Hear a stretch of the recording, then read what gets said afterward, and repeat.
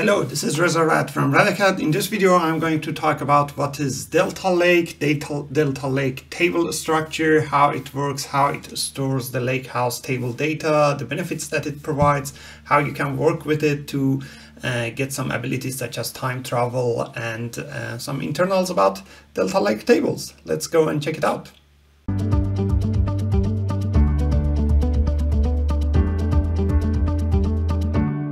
Okay, let's start with what is Delta Lake. Now, in the world of um, Microsoft Fabric, Lakehouse, or Data Lake in general, there are lots of terminologies that looks the same. You have like Data Lake, you have Lakehouse, uh, Delta Lake, you have um, one lake it's a lot of different things that might sound the same but uh, i'm not going to talk about all of those in this video i'm going to talk about Delta Lake. What is a Delta Lake? It's a standard uh, um, open source format of storing data specifically related to Lakehouse. It's not uh, specific to Microsoft. Uh, other vendors are also using it. Uh, it's one of the uh, formats that is used and some uh, computes such as Spark, Hive, um, some different computes are using it. And because Fabric is using Spark, um, so Fabric has decided to use the same format. It's a uh, format or let's say it's a, structure in that way the data is stored. Um, so it's it's not an object by itself. The object would be table or would be the file or would be the lake house. Delta Lake is the structure or the format that this uh, data of that table is stored.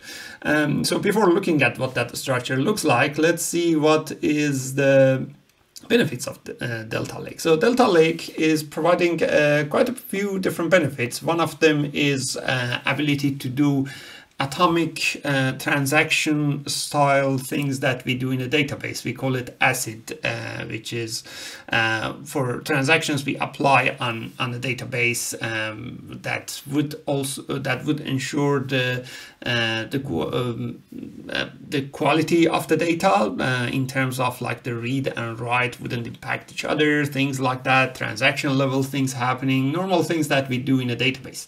On the other hand side, it also provides features such as time travel and versioning, which means, for example, if I want to look at my data at specific point of time, like last year, 15th of April, I want to see what this table's data look like. This provides me that. In addition to that, it provides uh, auditing experience because it keeps all the log history of what has been changed at what time.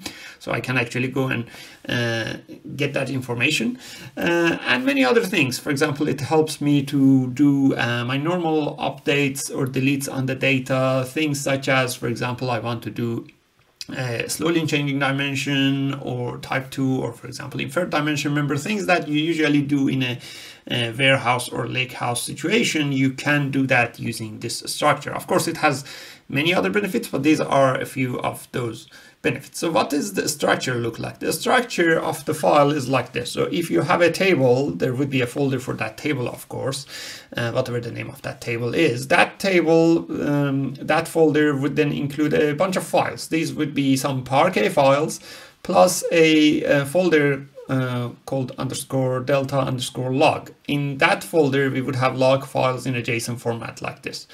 Uh, and um, like how many Parquet files you have or how many JSON files you have, that would be decided by the Lakehouse system to to generate those as you make changes and as you proceed with the um, uh, with the updates on your Lakehouse table. Uh, now I'm going to show you this structure in uh, my environment. So what I have here is I installed this um, OneLake file Explorer in uh, Windows. You can actually download and install it for free. Uh, it's a quite good thing because once you download it, then OneLake would appear like uh, like a OneDrive for you. You can see all your Lakehouse warehouses objects here. So I'm looking at one of my Lakehouse. This is the Lakehouse. In that Lakehouse, I have tables and files. So I'll go under the tables. And the fact internet sales table is the one that I'm looking at. So this table uh, and now we are looking at the same structure I just mentioned. So this structure basically means that I have these Parquet files in here. So you see these Parquet files. and then I have the delta uh, log folder. Under that, I might have some other folders. That's not the important piece. I mean, they are also important, but the most important part is these JSON files. And these JSON files would actually keep the um, keep the um, changes, uh, whereas the uh, Parquet files would keep the actual data. Um, the same structure, you can see that when you are looking at the lake house in the lake house uh, explorer. So if I look at the lake house in this view, um, when I'm looking at the lake house, when I'm looking at the tables of that lake house, I would have this option to go and say view files. Uh, and then this would, uh, then this would mm, literally bring the same file structures. I have Parquet files, I have the delta log folder and JSON files underneath. By default, when you click on this, this would show you the tables, but uh, the, the, tables data. But when you click on view files, you'll see the files. So uh, before talking more about that, let me also explain this. So we talked about um, the delta lake structure being a structure, meaning a folder, a bunch of Parquet files, a delta log folder, and under that some JSON files. Uh, but what Parquet is then? Is the Parquet the same as the mm, as the Delta? Mm, sometimes I get this question like Delta, Parquet, they are the same or they are replacing each other. If I store my data, is it going to be stored as Parquet format or Delta? Which one is better? Uh, now, these two are totally two different things. Uh, Parquet is a format that we store the data. So Parquet files are actually keeping the data. Delta Lake is not a file. Delta Lake is a structure, a framework, a storage layer that would decide how these files are placed. For example, for this table, you would have these Parquet files, plus that Delta log um, folder, plus the JSON files, right? So Parquet files are part of the Delta Lake, but they are not necessarily the same. Uh, so talking about Parquet, what is Parquet and what is the benefit of that? So Parquet is a format that we store data. For example, you can store your data in a CSV format if you want uh, when you store it as a file. Uh, CSV format, however, is more readable, human readable. You can open it in Notepad, read it, or you open it in Excel. It's easily readable. Um, and they are not stored efficiently. Whereas Parquet files, they are also storing the data, but they are storing it in a column store method, which would make it much more efficient. The size of the files would be significantly smaller and the analytics, any analytics we do on that file would be uh, super fast. Um, querying the data from a file such as Parquet is far faster than doing it in a CSV file. So in general, uh, they provide a better um, uh, read access through the file, which is much faster.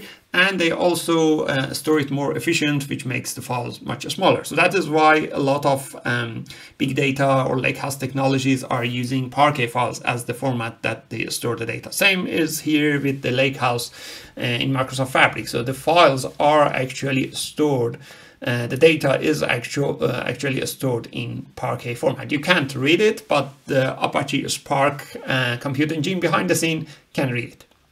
Okay, now how these uh, files uh, or how a Delta Lake structure is created. There are two ways that this can be created. One way is basically whenever you create a table in here, that would, um, and this table might be created just blank, or you might create it using any of these methods that you can uh, get data. Uh, this table would be a Delta Lake table, or you can use a Python code that you can create it. And I have the Python code in the blog down in the description below.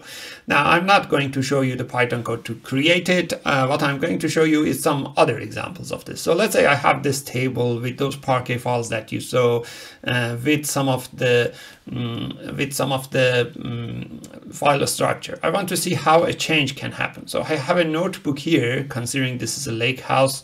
Um, one of the ways that I can make change is a code in notebook. So this is a SQL code that you can see. I'll zoom in a little bit. So this is a SQL code uh, that I'm running in a notebook and it is connected to the same lake house. And this is basically just updating the fact sales table, making the sales amount this much for any records that their date is 1st of July 2008 and that apparently updated 79 records i'm not going to run it again i already run that Uh, so 79 records are updated using this. Uh, what would be the impact of such thing in the structure of the file? So in the structure of the file, um, so I can go to, for example, the fact internet sales table and looking at the looking at the fact internet sales, let's say I want to see uh, the files. So looking at the files, uh, now I'll sort it based on date modified and you see that there are some Parquet files. So I just ran it um, before this video. So there is a Parquet file created at this uh, at this date, right? I don't need to know uh, or understand how the structure of that file is. What I'm uh, interested to show you is the delta log table. In the delta log table, I also have some some things, but one of them is a JSON file, again created in the same time frame. So what I'm going to do is just to open that JSON file, uh, and the JSON file keeps the changes. So here you can see that what happened is actually there is one of the Parquet files that is removed. Another Parquet file is added. So the changes are happening in the data uh, and, and the data is stored in Parquet files. The JSON file is keeping the information about what Parquet files to look at or what Parquet files not to look at. I don't need to understand these structure, but the Lakehouse from this, uh, or let's say Spark engine behind the scene understands it. And based on that, it refers to the right data. Uh, now, in addition to that, I can do a lot of uh, other things in my notebook as well, not just creating this. I can go to my notebook, for example, here. Um, I have uh, another piece of code that uh, if I run it, and this is a simple code using describe uh, keyword.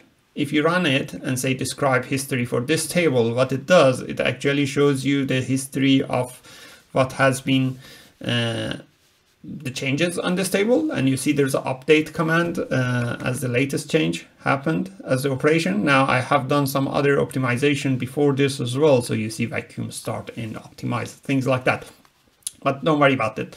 Uh, what this would do is it would give you those information. And of course, you can go further and do a really uh, extensive log. another example I want to show you is how to do time travel. And it is quite simple to do it. So I have a piece of Spark code that actually reads that Delta format. And only with this piece of code here beside it, I'm actually telling which part of the data I'm getting. For example, I'm saying that, well, read this table, but as of 28th of April, not as of now, which is 30th of April. And that, and that is how I time travel. So I get that, I store it in a variable uh, or a data frame, we call it in Python. I show that data frame and I show a current version without that timestamp and show that as well. So these two are the two versions that I have here. There is one which is for the uh, for the old version and you see the sales amount values over there and then there is one which is for the newer version uh, and I can see the sales amount in here as well and if you look at these the two sales amounts are somehow different which is showing me the data as of now the bottom one and the data as of 28th of April before this change uh, the previous one. So quite uh, useful. These are a few examples of what you can do with these Delta Lake tables. But the thing is that you don't really need to work with the actual files. You can do if you want to, but you don't need to. Uh, another question that might come into your mind is that, well, what about optimization? Because these files are getting like updated updates and we would have like more Parquet files, more JSON files things like that, how we can clean up this, how we can do optimization. There are optimization techniques. There are commands such as optimize, vacuum that you can use. Uh, and there are also optimization um, options behind the scenes such as V order and Z order, or we call it Z order in British, uh, whatever you might like. Um, but that is a subject of another video, uh, which I'm going to talk about it uh, later. So stay tuned for that. The good news, however, is that all of those optimizations are happening behind the scene automatically. So you don't need to uh, do anything about it, but knowing it is helpful. So I'll explain it in another video. Uh, so in general, um, as a summary, Delta Lake is a format, a structure to store data. It's not Microsoft specific. Other um, vendors are also using it. The data is stored as a few different files and folders. One of those files is Parquet files. That is where the actual data is stored. Uh, and uh, this uh, feature provides uh, a lot of capabilities for us doing like normal database operations, ACID operations, transactional operations, as well as time travel, as well as auditing the changes. Uh, plus uh, the Parquet files gives us the ability to do um, big data analysis at a super fast uh, speed. Uh, I hope you enjoyed this video. until the next video, bye.